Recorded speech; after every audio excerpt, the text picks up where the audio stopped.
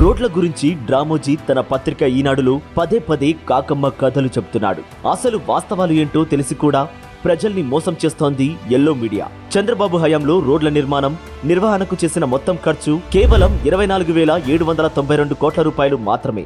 అదే జగనన్న ప్రభుత్వం ఉపయోగించిన మొత్తం నలభై రెండు వేల రెండు వందల ముప్పై ఆరు కోట్ల రూపాయలు. అటు రోడ్ల మరమ్మతుల కోసం చంద్రబాబు రెండు వేల తొమ్మిది వందల యాభై నాలుగు కోట్ల రూపాయలు ఖర్చు చేస్తే అదే జగనన్న ప్రభుత్వం నాలుగు వేల నూట నలభై తొమ్మిది కోట్ల రూపాయలతో పునరుద్ధరించింది.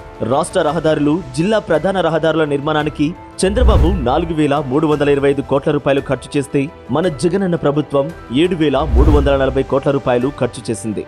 జాతీయ రహదారుల నిర్మాణానికి పద్నాలుగు వేల మూడు వందల యాభై మూడు కోట్ల రూపాయలు బాబు ఖర్చు చేయగా ఇరవై ఐదు వేల మూడు వందల నాలుగు కోట్ల రూపాయలు మన జగనన్న ప్రభుత్వం వినియోగించింది.